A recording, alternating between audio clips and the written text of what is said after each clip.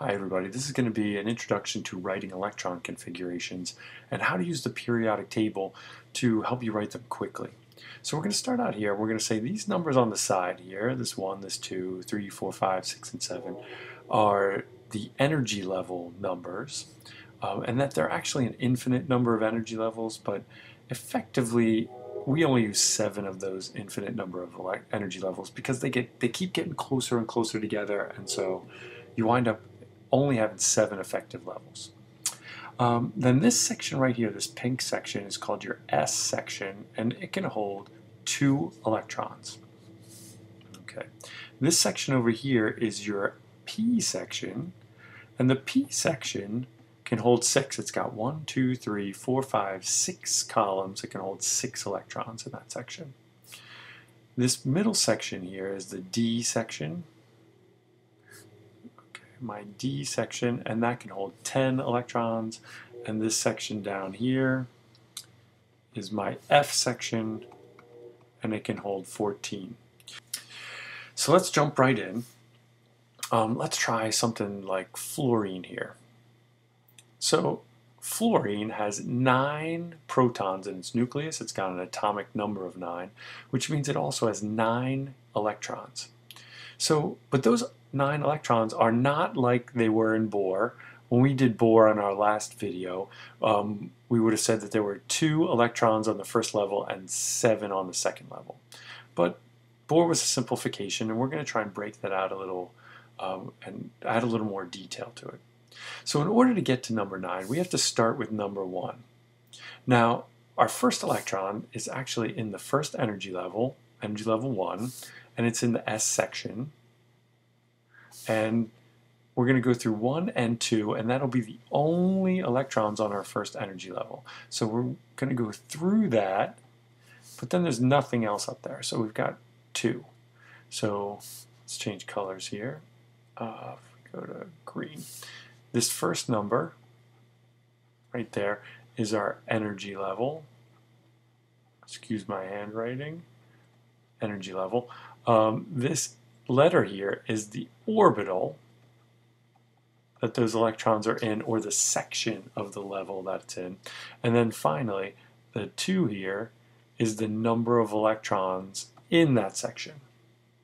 So we're on the first level, S section, 2 electrons in there. But we're only at 2 electrons and we need to get to 9 electrons. So let's continue onward. So we've already exhausted everything on the first level. So we'll pick it up again with our third electron, which is on the second level. Second level. And the next two electrons will be in the S section. And there are two of them there. So now we've accounted for 2, 4 of our total of 9 electrons. But we still have to keep going. So we'll keep going right across our second energy level and pick up here and we'll go 1, 2, 3, 4, 5. So we'll be on the second level in our P section and we'll be 5 electrons into that P section. So 1s2, 2s2, 2p5. Okay, so if we take a look at that, Bohr would have said that we should have 7, it's in the 17th family, so it should have 7 outside electrons. And it kind of looks like there's only 5 outside electrons, but we have to take a more detailed look and say that everything on the second energy level here is actually an outside electron. And so my seven electrons are actually five in a P section and two in an S section. So Bohr was right, but just missed a little bit of detail there. Okay, I also want to tell you that we're on ptable.com again, and that um, I'm on the orbital tab, so we're no, no longer on the isotope tab. And that the interesting thing about this orbital tab here is that if I actually click fluorine, it will give me the electron structure, 1s2, 2s2, 2p5, just like we had.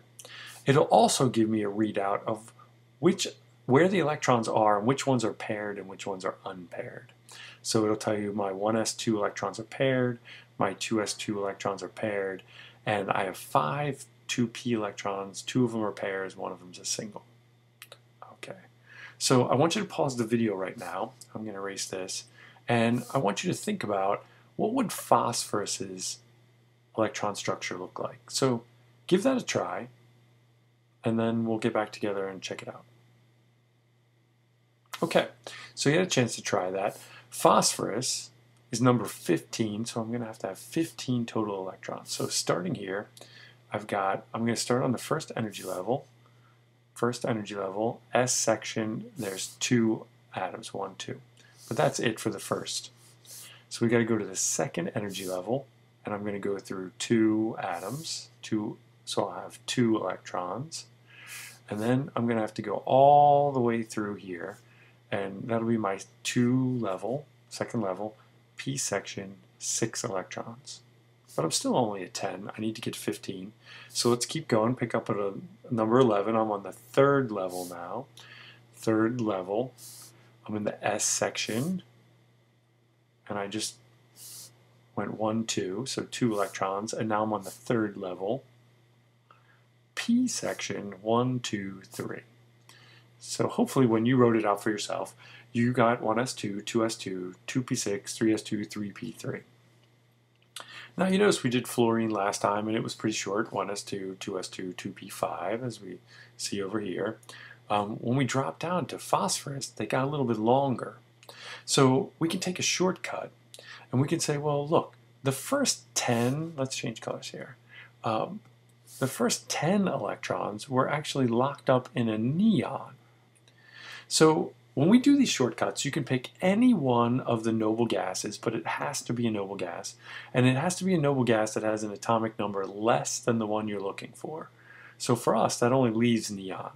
So I'm going to write in neon here, and I'm going to put it in a box um, so that I can say, look, this, these first 10 electrons are being represented by the noble gas neon. So up here, the first 10 electrons are actually these two, these two, that's 4, and these two, that's 10. So this is neon. And that's going to only leave me with my valence electrons, which are 3s2 and 3p3. So you can write a shortcut, sorry about the handwriting again, uh, 3p3, and if we click on this thing, uh, if we click on phosphorus, it'll tell you 1s2, 2s2, 2p6, 3p3, um, and so we've pretty much got it.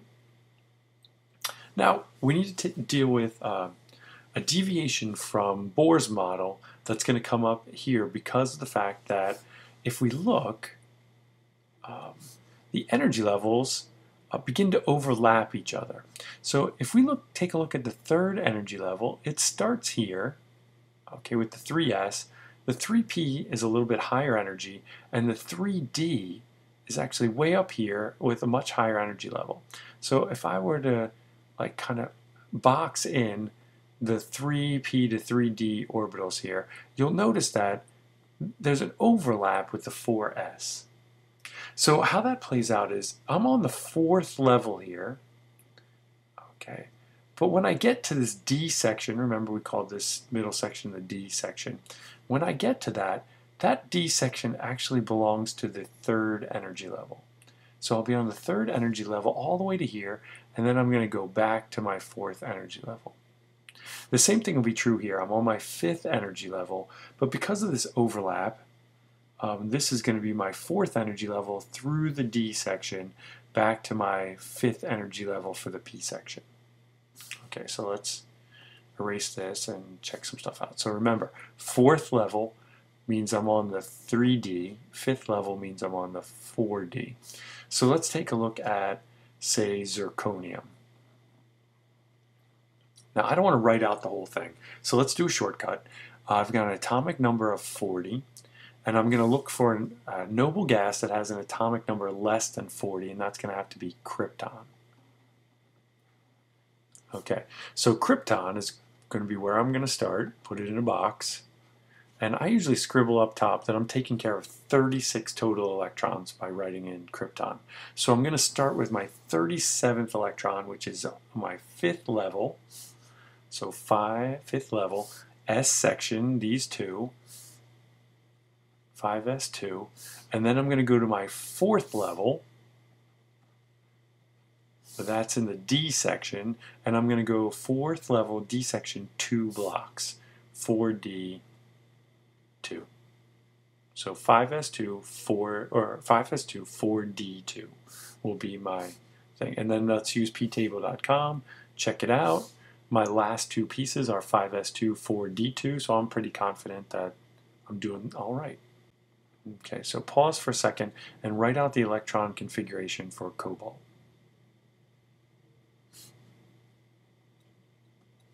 Okay, cobalt, how'd you do? Did yours end in 4s2, 3d7? Hope you're doing all right. Okay, now I want to show you one more thing. You'll notice that the F section is actually dropped down here, but ptable.com will allow us to see a wide version of that. And here's why you don't see that wide version very often. Uh, it basically bumps out the whole screen. So I'm going to um, shorten my screen up here a little bit um, and shrink down that periodic table. And you can see that the F section is now laid in here um, between the S and the D. Okay, so that might be a little bit confusing, but the wider version, here, let's scribble in some stuff. So here's my S section. This was my D section from here to here that we had before.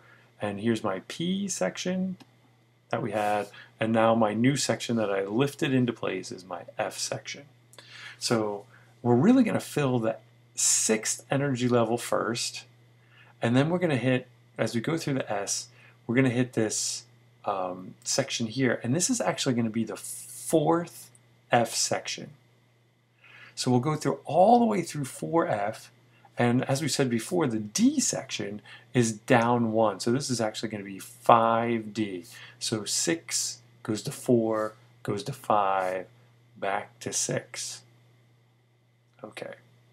So since this is kind of difficult to work with, um, let's go back to our normal um, periodic table version here Let's go one more bigger. Um, and let's take a look at one of these guys.